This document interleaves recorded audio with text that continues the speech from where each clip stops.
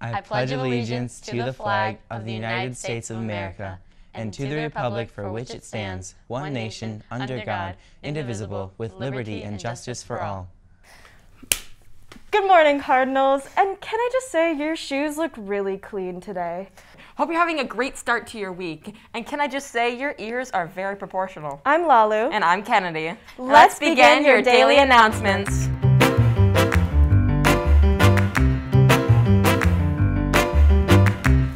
Lacrosse Open Gym starts this Sunday from 1 p.m. to 3 p.m. Anyone interested in lacrosse is invited. Hope to see you there. There will be two college visits this week at MHS. UW La Crosse will be here tomorrow, February 2nd, from 11:30 to 12:30, room 2107. Verdo Education will be here on Thursday, February 3rd, from 11:30 to 12:30, room 2107. Prom is April 9th. Are you a junior interested in helping plan for this year's prom? Are you a senior that didn't get to help plan last year and want to this year? Do you like hanging out with Mrs. Hammelwin and Mrs. Schreikart?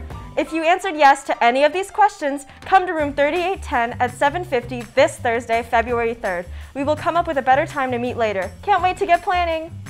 Come to room 2003 this Wednesday morning at 7.30 for Creative Writing Club's next meeting. Bring an open mind and something to write with.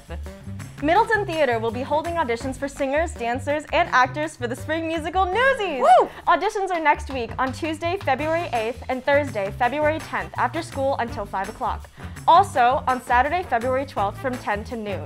Go to middletontheater.org to get more information. More exciting Middleton Theater news. Romeo and Juliet our performances are next week.